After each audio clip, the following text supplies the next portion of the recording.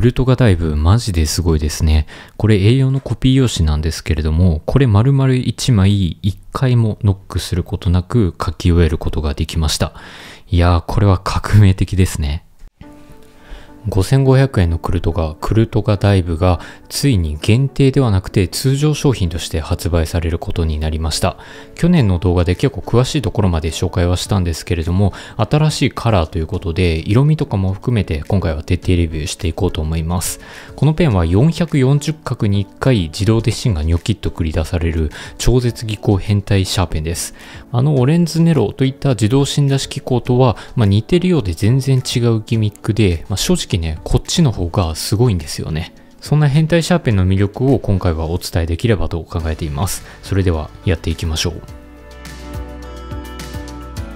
今回購入したものはこちらのね黒い化粧箱のものなんですけれども実はシーサーのクルトガダイブコレクションはこれで3本目になります。クルトガダイブについて知らない人からすると何が何だかねよくわからないと思うので一から説明をしていこうと思います。クルトガダイブのコンセプトは核にのめり込むでございます。ノックをしたり芯が片べりするといったストレスから解放し深海の奥深くまで潜るように思考を巡らせるためのシャーペンでございます。つまり勉強だったりねアイデア出しというのに非常に特化したシャーペンなんですよね。でこれまでクルトガダイブは第1弾第2弾第3弾といった感じで3回発売されているんですけれども第1弾と第2弾はなんと限定カラーだったんですよねなぜか。でこちらの第3弾がね限定ではなく通常モデルとして発売されれたという、まあ、そういった経緯になります。第1弾、第2弾、第3弾、何が違うのかというと、まあ、カラーが違ってきます。第1弾はね、こちらのグランブルーという色でございます。お値段は5500円で、2022年の2月に発売された伝説のモデルでございます。ちょうど1年前のこの時期っていうのは、ちょうど僕がね、大学4年生で、その時ね、卒業論文に追われていたってこともあって、買えなかったんですよね。で、去年、もともと TV の元デイさんからお借りをして、動画を作りました。で、動画を作ったら元デイさんにね、もう返しちゃったんですけれども、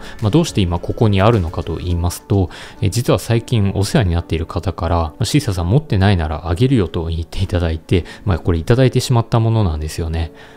本当にありがとうございます。まあ、動画でね、これ紹介しようかすごくね、迷ったんですけれども、まあ、わざわざ隠しても意味がないかなと思ったので、まあ、せっかくだからね、今回こちらも開封して紹介をしていこうと思います。で、第2弾がね、こちらになります。第1弾はグランブルー1色だけだったんですけれども、第2弾になりますと、ムーンナイトブルーとカスケードブルーの2色が2022年の11月に発売されました。こちらも数量限定カラーということで、僕が購入したのはカスケードブルーですね。カスケードブルー購入はしていたんですけれども、動画はね、作らなかったです。もともとグランブルーでね、動画を作っていたので、まあ、違いといったらね、色違いってことしかなくて、まあ、しかもね、一瞬で売り切れちゃったってこともあって、まあ、わざ動画を作るまでもないかなと思って、ちょっとね、動画を作らずに保管しておりました。今回はこちらも開封をしていこうと思います。まあ、第1弾、第2弾、どちらも限定商品だったってことで、まあ、買える人がね、本当に少なかったってことで、まあ、そのクルトガダイブ難民を救うために誕生したのが、こちらのクルトガダイブ第3弾でございます。こちらは2023年の3月3日に発売されたモデルでございまして、数量限定ではなくて通常品としてこれからずっと販売していくらしいですね。まあ、ただ今はね、発売されたばかりってこともあって、入手はね、結構今困難なんですけれども、今後1年後、2年後とかには入手しやすくなるんじゃないかなと思います。で、第3弾で登場したカラーというのは、アビスブルーとデンスグリーン、それからトワイライトオレンジの3色ですね。今回僕はトワイライトオレンジっていうね、オレンジ色を購入しました。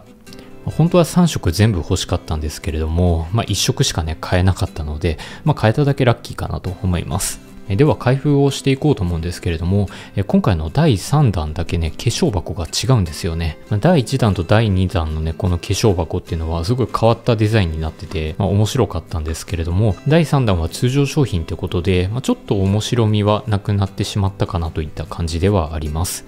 それでは第1弾の方を開封していきましょう。これ中身こんな感じになってますね。こっち側に取扱説明書が入ってますね。核にのめり込む自動芯出しシャープ。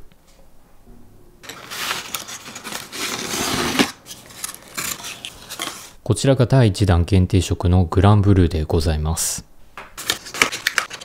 こちらが第2弾限定色のカスケードブルーでございます。ちらが第3弾通常色のトワイライトオレンジでございます。うわ、オレンジめちゃくちゃかっこいいですね。黒い化粧箱の中にオレンジがあるってことで、なんかね、輝いて見えますよね。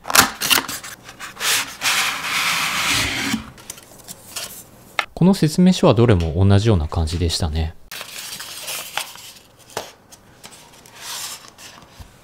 こちらがトワイライトオレンジでございます。いや、3本ですね。並べてみるとこんな感じですね。いずれも税込み5500円となっているので、もうこれだけでね、16,500円となっています。正直僕もね、本当にご縁があって、こうやって3本並べることができたんですけれども、1本でもね、これ持ってたら本当にね、すごいと思います。まあ、現状では買おうと思っても今なかなか買えないペンたちなので、クルトガダイブの需要が落ち着くまでは、まあ、学校で使ってるともしかしたら盗まれちゃうかもしれないので、まあ、ちょっと取り扱いには注意した方がいいかもしれないですね。では1色ずつちょっと見ていこうと思います。ではまずはグランブルーを見ていこうと思います。グランブルーというのは雄大な青という意味があります。太陽の光がほとんど届かない深海。深海っていうのは地球上の中でもね未知の領域とも言われていて、まあ、そのね果てしない雄大さから、まあ、このカラーになっています。このグランブルーは噂によると世界限定5000本で、えー、販売されたそうです。こちらのボディには ABS 樹脂がね使われているんですけれどもなんか噂によるとこの表面には傷がついても自己修復してくれるコーティングがされているらしくて、まあ、それによってちょっと光沢感がある感じになってますね。キャップを開けたデザインはこんな感じになっています。まあ、ちょっとね、この先端のところはね、いろいろとメカメカしさがあるんですけれども、まあ、そこら辺に関してはまた後で紹介をしていきます。まあ、グランブルーはね、これまで動画で紹介したことがあるので、ま皆さんもね、見覚えがあると思うんですけれども、え今回こちらはね、初めて紹介しますね。カスケードブルーでございます。カスケードというのは、だんだんにつながった小さな滝のことでございまして、まその細かい水しぶきのような色味が、えこちらのカスケードブルーとなっています。シルバーの中に少し青っぽさがね、入っているっていうのがね、すごい面白い色味で、なかなかこういう色味のペンって持ってないので、面白いなと思いました。キャップを開けるとこんな感じでございます。まあ、ちょうどね、この先端の部分がシルバーになっているので、まあ、それとの相性もね、すごく良くて、まあ、結構統一感のある色味になってるなと思いました。こっちの第1弾は自己修復コーティングがされているためなのか、まあ、結構ね、ツルツルとした光沢のある質感になっていたんですけれども、まあ、第2弾になると自己修復コーティングっていうのはされてなくて、艶消しのザラザラとした質感になっています。まあ、僕的にはね、この光沢のね、感じがね、結構滑り止め効果もね、働いてくれているってことで、ま、第1弾結構好きだったんですけどね、ま、第2弾は艶消しになっています。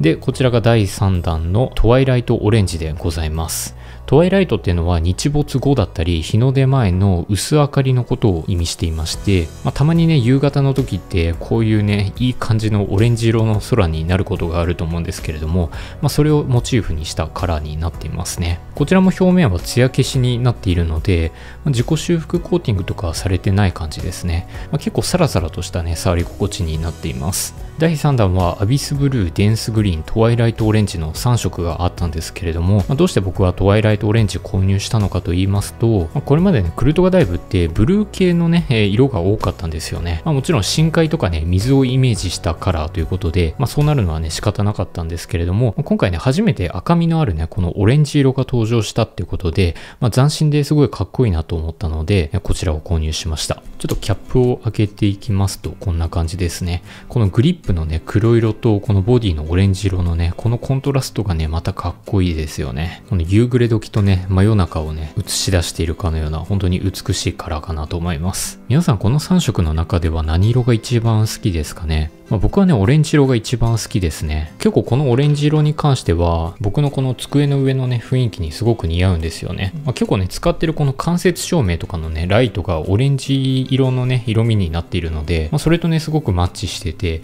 まあ、この机の上にね、置いておいても全然違和感がなく、まあ、僕のデスクにもすごく溶け込んでくれるカラーでした。僕はここにディプロマットのアエロというボールペンをね置いているんですけれども、まあ、これがねオレンジ色なんですよね、まあ、すごくこうやって並べてみても相性がいいんじゃないかなと思います。まあ、なかなかオレンジ色のペンってそんなに世の中多くないのでオレンジ色のペンの仲間がね増えたので結構嬉しいですね。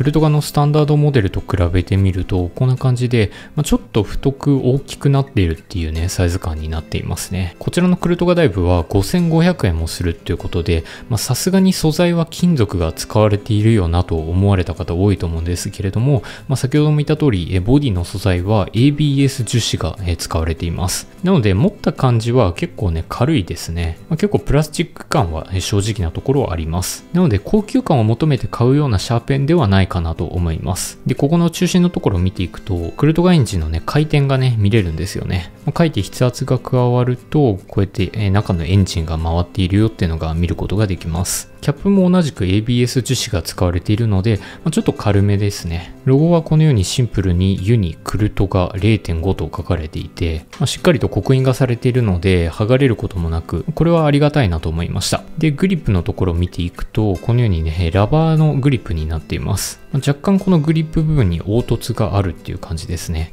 まあ、すごいプニプニしたラバーグリップではないんですけれども、まあ、しっかりと握ればね、そこそこグリップ性能を発揮してくれるので、書くのには十分なグリップ性能かなとは思います。で、この先端の部分見ていくと、ミニマムからマックスまでのね、こういうメモリがあったりして、まあ、すごいメカメカしさがあるね、かっこいいデザインになってますよね。ノーマルのクルトガと比べてみると、まあ、ちょっと口金はね、短いかなといった感じなんですが、まあ、クルトガダイブはね、すごい色々とね、詰まってる感があって、男心くすぐられるデザインになってますよね。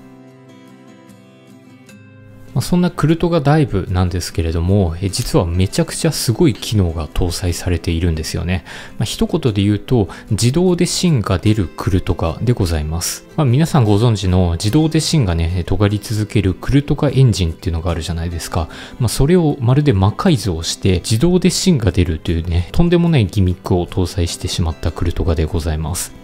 自動診断式機構のシャーペンというと、オレンズネロだったり、パイロットのね、S30 というのが有名ですよね。ただ、こちらのクルトガダイブに関しては、これまでの自動診断式機構にプラスアルファしたものすごいギミックが搭載されています。機能の紹介に関しては前の動画をご覧くださいと言いたいところなんですが、まあ、それも皆さん面倒だと思うので、もう一度詳しく紹介をしていこうと思います。まあ、前回の動画と重複するところはありますが、まあ、なるべくわかりやすく紹介していこうと思いますので、ぜひこの動画を見ていただければ、クルトがだいぶすごく詳しくなると思います。えまずはですね、序の口、初筆芯繰り出し機構というものがあります。こちらはペンテルのケリーなんですけれども、キャップ式のシャーペンっていうのは、こうやってね、キャップを取り出してから、えー、さらにね、ノックをしないといけないっていうことで、まあ、使い始めるまでちょっとね、大変ですよね。まあ、普通キャップ式のシャーペンってめんどくささがね、あるんですけれども、こちらのクルトガダイブに関しては、初筆芯繰り出し機構というのが採用されていまして、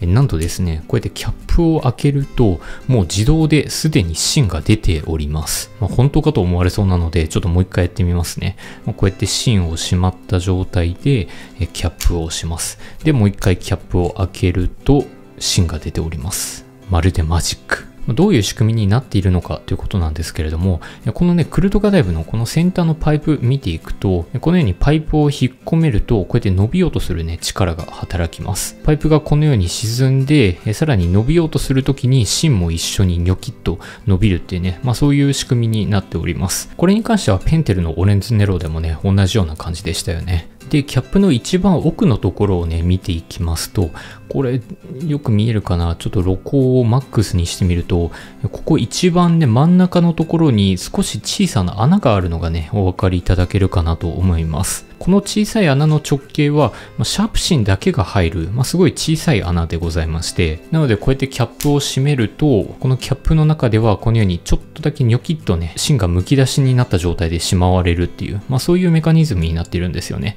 で、キャップを取り出すと、このように、え芯が出ているっていうね、まあ、そういった仕組みになっております。クルトガダイブ以外の自動診断式機構のシャーペンっていうのは、まあ、一番最初の最初を書き始めるとき、ノックを1回する必要があるんですよね。まあ、自動診断式機構とは言いつつも、一番最初はどうしてもね、ノックする必要が出てきてしまいます。ま、ただ、クルトガダイブに関しては、1回もノックする必要がなく、本当の意味でノック不要のシャーペンなんですよね。まあ、正直なことを言うと、こうやってね、キャップを開ける手間の方がね、一番最初に1回ノックをするよりも、まあ、面倒っちゃ面倒なんですけれども、まあ、そこに関してはね、目をつぶっておきましょう。で、このボディの後ろのところにはノックキャップがついていまして、これをノックすると普通のシャーペンみたいにシャープシーン出すことができます。ただこのキャップを後ろにつけてしまったら、シャーペンノックすることができないんですよね。例えばペンテルのケリーだったら、このようにね、こうやってノックすることもできますし、さらにね、このキャップをつけた状態でも、こうやってノックをすることができるので、まあそれと比べるとね、クルトガダイブはここノックできないので、まあ、そこはね、ちょっと残念かなとは思うんですけれども、まあそもそもノックをする必要がないシャーペンなので、あえてそれはね、やらなかったんじゃないかなと思います。この後ろのところにはジャパンと刻印がされていました。で、このノックキャップを開けていくと、えー、消しゴムがついていて、で、さらに外すと、ここからね、シャープ芯を補充することができます。で、こちらのキャップはただのキャップではなくて、中にね、磁石が内蔵されたキャップになっているので、このようにね、軽くやるだけでカチッとね、閉まってくれるんですよね。まあ、ちょっとこうやって開閉するときにね、磁力を感じるようなキャップになっているので、まあ、すごいクリック感がね、気持ちいいなと思います。で、この部分がね、山になっているんですけれども、これがあることで、こうやって閉じたときに、この平面と平面が繋がるようにデザインがされています。まあ、そういうところのデザイン性は非常に気持ちがいいなと思います。ますで、この平面はね、3つあるんですけれども、1つの平面のところにだけクルトガエンジンのね、内部が見える窓が設けられているっていう感じです。まあ、初筆芯繰り出し機構だけでもね、これだけ語れちゃったんですけれども、まあ、今語ったのは本当に序の口の序の口で、本当にこのペンのすごいところっていうのは、この中に入っているエンジンなんですよね。自動芯出し機構と繰り出し量調整機構というのが、えー、搭載されておりまして、まあ、それについて今から紹介をしていこうと思います。これもね、話すとかなり長くなってしまうので、まあ、どういうことかっていうのを先にご説明しておきますと、えクルトガダイブは440角に1回自動で芯がニョキッと繰り出されます。で、この繰り出される量というのが、この先端に書かれているミニマムからマックスまでの5段階で調整できるというものでございます。オレンズネロとかパイロットの S30 といった自動診断式機構のシャーペンは芯をパイプから出さない状態で筆記します。なので芯が消耗するとパイプも同時に引っ込んでしまいます。で紙からペン先を離すとパイプと芯がニョキッと繰り出されるので減った芯の長さ分自動で芯が出るというギミックになっているんですよね。つまり書いている時に紙とパイプが擦れながら筆記することになるので、まあ、引っかかりという不快感を感じやすいのが従来の自動芯出し機構だったんですよね。まあ、ただこちらのクルトガダイブっていうのは芯がねパイプから隠れることなくもう普通のシャーペンと同じようなフィーリングで書けるんですよね。でどれだけ芯が消耗したかは一切関係なく書いた画数に応じて自動で芯が繰り出されるという機構になってましてこれが従来の自動芯出し機構とは大きく違うポイントでございます。普通のシャーペンと同じように紙とパイプが擦れ合うことがないので、まあ、自動で芯が出るのに引っかかりが少ないっていうね、まあ、誰もが考えていたんだけどさすがにこれは実現できないよねっていうのを、まあ、三菱鉛筆さんは実現してくれたというね、まあ、大変お見事なシャーペンです。で先端を見るとミニマムからマックスまでの5種類のメモリがあります。で440角に1回芯が出てくる時にどれだけの長さの芯を出すのかというのを、まあ、ダイヤルを回してコントロールすることができます、まあ、実際に実演をしていこうと思います。まずは分かりやすいようにマックスに設定をして書いていきます。440角に1回しかね芯が出てこないので書いている途中は芯は徐々に消耗していきます。で先端のパイプも徐々に徐々に短くなっていきます。で、いざ440角に到着すると、ニョキッとパイプと芯が出てきます。これお分かりいただけますかね、まあ、結構お分かりいただけるぐらいたくさんの芯が繰り出されているという感じです。それでは反対にミニマムに設定をして書いていこうと思います。ミニマムも440角に1回ニョキッと芯が出てくるんですけれども、もうマックスとね、比べると本当に少しだけニョキッと出てくるっていう感じですね。まあ、正直ね、出たの気づかないぐらいのレベルですね。実際に自分が書いてみてどの繰り出し量にセットするのが一番良かったのかと言いますと、まあ、これぐらいね小さい文字の大きさで書いた場合は2番目に少ない繰り出し量にセットするのが一番良かったです、まあ、つまりミニマムとミドルの中間のところ、まあ、ここが僕的には一番良かったというか、ま、1回もノックすることなくしかも露出する芯の長さもほぼ変わらずに全て書き終えることができました、まあ、一番ねミニマムに設定してしまうとですね、ま、やっぱり芯のの消費量の方が僕的には多くなってしまいましたね。まあ、逆に MAX とかにね、設定してしまうと、もう芯が出すぎてしまって、もうどんどんどんどん芯が長くなっちゃって、逆に芯が折れそうになってしまったので、小さい文字で書く場合は、まあ、少なめに設定してあげるといいんじゃないかなと思います。まあ、これに関しては皆さんの筆圧とか文字の大きさとか、芯の硬さとか、まあ、かなりね、いろんな変数によって変わってくると思うので、まあ、実際にご自身が使ってみて、まあ、最適な目盛りに合わせてあげるのがいいんじゃないかなとと思います。今回ね、A4 の用紙に僕が書いたこの文字の大きさっていうのは、まあ、ノートをね、取るときと同じぐらいの大きさだと思うので、まあ、ノート取りの時はこれぐらいでいいと思うんですけれども、逆にテスト中とかになってくると、もう少し文字が大きくなってしまったり、まあ、そういうこともね、考えられるので、まあ、例えばテスト中はミドルに設定してあげるとか、まあ、その場面場面によって、このメモリをね、回して、まあ、それぞれ調節してあげる必要は、まあ、正直あるかなと思いました。なので、まあ、完全に自動的なシャーペンではなくて、まあ、ちょっと自分で動かすマニュアル的なね、動作は必要にはなってくるんですけれども、まあ、それがね、楽しいなと思いますね。一回最適なね、繰り出し量を決めてしまったら、もうあんまり変える必要がないと思うので、まあ、そこまでいけばね、まあ、真のクルトがだいぶオーナーになれるんじゃないかなと思います。この A4 の用紙全部書き終えるまで、まあ、一回もね、ノックせずに書けたんですけれども、本当にね、なんか書くのに没頭できたんですよね。マジで集中できるシャーペンだなと思いました。いや、これは本当に革命的ですね。2008年に初代のクルトカが発売されたんですけれども、もうその時の革命と同じぐらいのね、革命を本当に起こしてくれたシャーペンだと思います。これは本当に冗談抜きにたくさんの人に使ってほしいシャーペンです。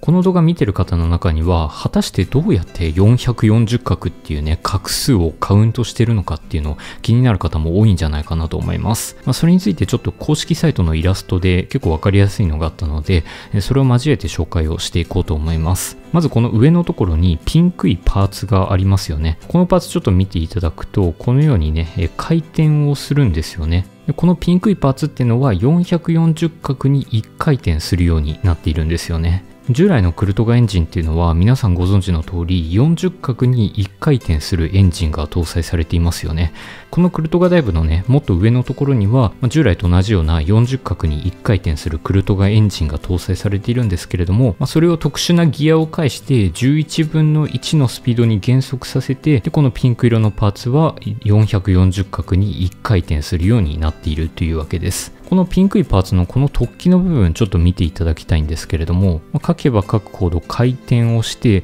この青いね、坂をね、登っていくんですよね。で、このように登って登って登って、で、そうするとここ崖になってますよね。で、崖になるとこのようにストンと落ちていきます。で、ここのストンと落ちたこの部分の落差が繰り出された芯の量になるというわけなんですよね。これ面白いですよね。で、ここの金属のパイプのところを見ていただきたいんですけれども、このピンクいパーツが青い坂をね、登っているとき、このようにパイプが徐々に徐々に引っ込んでいくんですよね。こうやって引っ込んでいきます。で、登りきって崖まで来たら、パイプと芯が一緒にストンと落ちてくるという、まあそういった仕組みになっているんですよね。で、果たしてこのオレンジ色のパーツって何なのかというと、これが繰り出し量調整機構を司っている重要なパーツでございまして、こんな感じでですね、繰り出し量のメモリをこうやって回すと同時に、このオレンジパーツも一緒に回っていくんですよね。で、さっきこのストンと落ちるこのね、崖の高さが繰り出される芯の量っていう風に言ってたじゃないですか。なので、このオレンジパーツの崖の高さをこちらの繰り出し量調節機構によって変更することができるっていう、まあそういう仕組みになっています。なので、ミニマムに設定すると、まあ、ほとんどね、崖の高さがないので、まあそんなに繰り出されないですよね。で逆にマックスに設定をすると、こっからここまでね、ストンと落ちることになるので、ま相当な長さのの芯が繰り出されるといった、まあ、そういった仕組みになっております。いやー、これは本当に面白い。常にね、芯の先端を尖らせるクルトガエンジンの技術というのを自動新出し機構に応用してしまうっていうのは本当にすごいですし、まあ、それによって従来の自動新出し機構の、まあ、パイプと紙が擦れてしまうっていうね、欠点を克服してしまったっていうことで、これをね、設計した人は本当にすごいなと思います。なんかこのクルトガダイブ構想から発売されるまでに10年近くかかったっていうこともね聞いていて、まあ、どれだけの研究開発費がかかっているのかっていうのがねものすごく考えるだけでも頭が痛くなっちゃうんですけれども、まあ、それだけ恐ろしいほどの時間をかけて開発されたシャーペンがこちらなんですよね、まあ、そう考えると5500円するっていうのも、ま、納得っていうかむしろ安いんじゃないかなって思うぐらいですね。まあ、もちろん学生さんからするとね、5500円っていう金額だけ見ると高いなとは思うんですけれども、この技術力とか完成度をね、考えると、5500円で抑えてくれたのは本当にすごいなっていうか、企業努力すら感じてしまいますね。まあ、すごい複雑なギミックなので、このグリップの部分はね、結構ボコッと膨らんではいるんですけれども、まあ、それでもこのペンのね、形状の中にこの変態的な構造を埋め込んでしまえるぐらいの小スペースでできてしまうっていうのも、これまたね、本当にすごいなと思います。本当にね、機械式腕時計とか、まあ、そういった芸術性すらね、感じてしまうギミックですね。なんかもし今後できればなんかグリップの部分をね透明にして中の構造が見えるようにねしてくれたらすごい面白いなと思いましたね。こちらのクルトガダイブのスペックを見ていこうと思います。キャップを外した状態で重量が 14.1g でキャップをした状態だと 19.1g でした。一応キャップをね後ろにつけて書くこともできるんですけれども、まあ、その分重心が高くなっちゃうので僕的にはキャップを外した状態で書くのがおすすめです。これだけの気候が詰め込まれている割には 14g にね抑えているってことでペンの中でも結構軽めだなと思いました。で重心の位置は先端から 66mm となっています、まあ、結構低重心ですね、まあ、一般的に 65mm 付近に重心があると低重心で書きやすいなっていう印象があるので結構低重心だなと思いました。一方キャップを後ろにつけてしまうと 81mm になってしまうのでキャップを後ろにつけると結構重心は高くなってしまいますね。全長は 142.7mm ということで、まあ、長さで言うと普通のシャーペンと同じぐらいの長さですね。キャップを後ろにはめると 150.3mm あるので、かなりサイズ感大きくなってしまいますね。で、グリップの直径は 10.8mm です。ちょうどいい太さっていう感じですね。スペックについてまとめると、まあ、結構軽くて低重心で、まあ、書く上では取り回しのいいスペックをしているなといった印象です。まただ、後ろにキャップをつけてしまうと重心とか高くなってしまうので、まあ、勉強するときはキャップあまり後ろにつけて書かない方がいいかなと思います。では実際にシーサーが使ってみての感想を5つ星評価していこうと思います。まずは軽快さですね。こちらは星5つ中星4つでございます。まあ、結構いい方なんじゃないかなと思います。キャップを外した状態での感想になるんですけれども、重量が 14.9g で、重心バランスが 66mm ということで、軽量で低重心のシャーペンなんですよね。ま、なので結構軽快ですごい取り回しのいいシャーペンだなと思いました。ま、ただ、クルトガエンジンが搭載されているってことで、先端のぐらつきはね、どうしてもあるんですよね。なので、先端がぐらつく分、自然と筆圧をね、強くかけてしまうんですよね。まあ、それによって軽快さが少し失われているかなといった感じなので、星4つとしました。それから握りやすさ。こちらも星4つです。まあ、ラバーグリップがね、搭載されていて、まあ、滑りにくかったですし、星5つにしようかすごく迷ったんですけれども、ま、どうして星4つにしたのかというと、このグリップの少し上の部分が結構構膨らんでいるんですよね。ラバーグリップのところが 10.8mm とかだったんですけれども、